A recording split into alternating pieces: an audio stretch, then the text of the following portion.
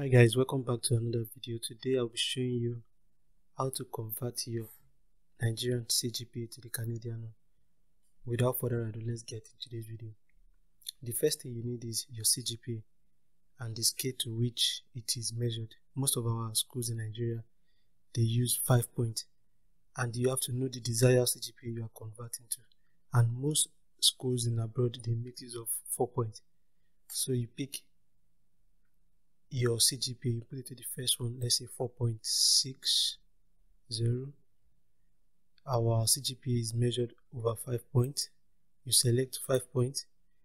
In Canada, it is 4 points.